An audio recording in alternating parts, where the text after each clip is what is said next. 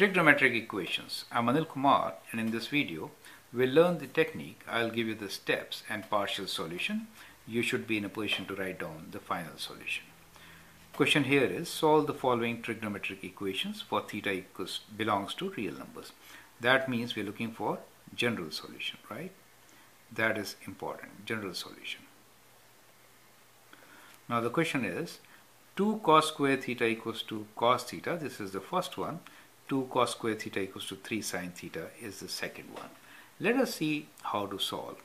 One, don't make the mistake of cancelling out one of these cos thetas or dividing by cos theta, right? In that case, you get 2 cos theta equals to 1. In that case, you will lose some solutions, right? So we'll soon realize why that is a mistake. The strategy is bring them to one side. So we have 2 cos square theta minus cos theta equals to 0. Now factor, so you have cos theta and here we get 2 cos theta minus 1 equals to 0. Now this factor gives you possible sets of solution. One is cos theta equals to 0, right? So there are a couple of cases. One is cos theta equals to 0. The other one is 2 cos theta equals to 1. Then this factor will be 0. Or let me write 2 cos theta minus 1 equals to 0. So these are two possible factors and therefore two sets of solutions. Now when is cos theta equals to 0? So now you can think about uh, like this. Let me just make a sketch here and remind you how the cos function is. Cos function basically is kind of uh, like this. Let me start from the positive side. It is like this, right? So it is kind of like this. So it has two zeros and the zeros are at pi by 2 and 3 pi by 2, correct?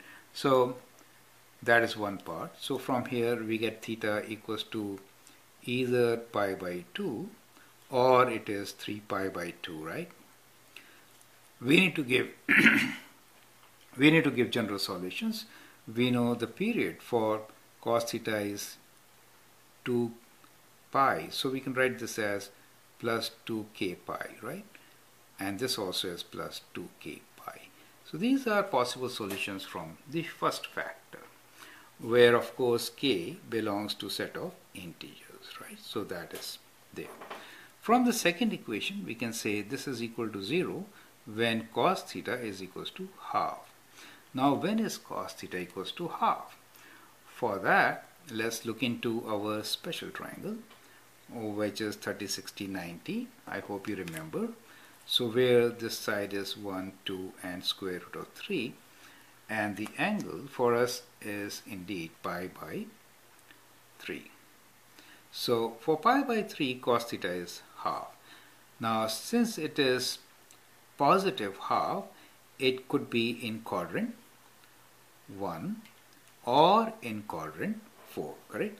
Now cast rule says that let me write down the cast rule here CAST right?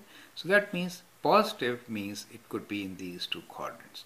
So we're looking for pi by 3 in these two quadrants or the solution is kind of like this right? So that gives us the solution right?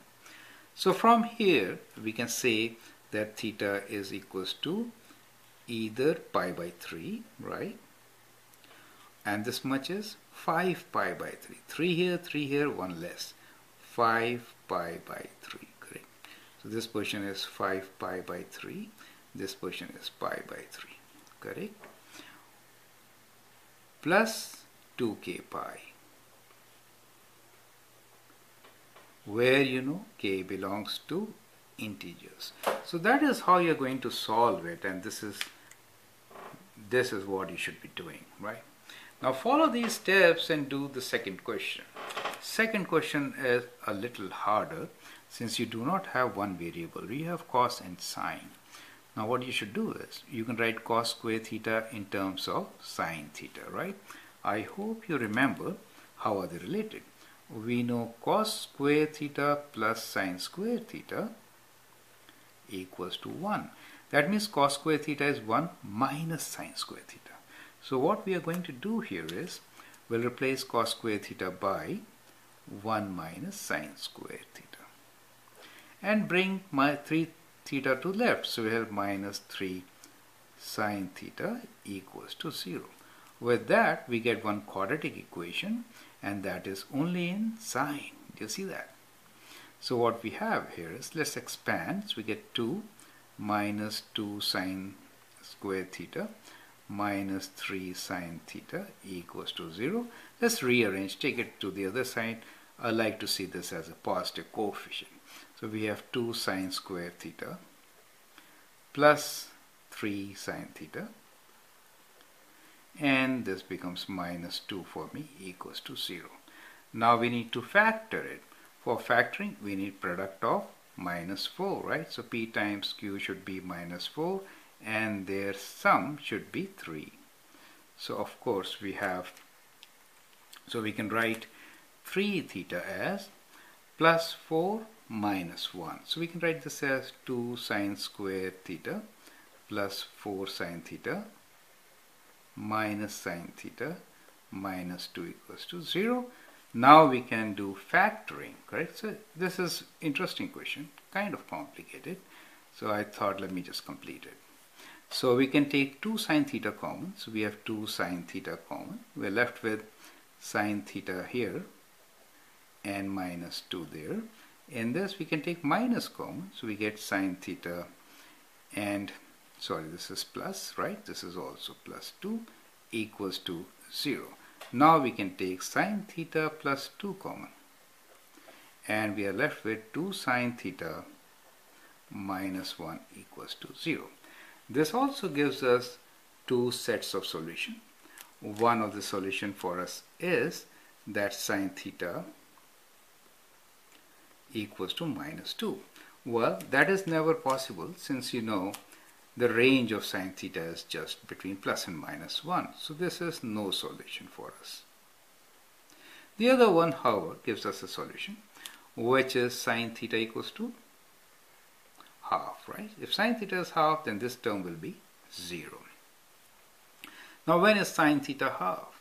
If you look into this triangle, so when theta is pi by 6, sine theta is half, opposite over hypotenuse. So we are looking for acute angle pi by 6. But remember, sine theta is actually half in two quadrants. Plus, right, positive value, sine is positive in two quadrants. Quadrant 1 and quadrant 2, right? So we have two solutions. These are the two solutions, which gives us two angles. One, of course, is pi by 6. The other one is 5 pi by 6. So we have two solutions here. The first one I wrote pi by 6. The second one is 5 pi by 6. So that is the value theta can have.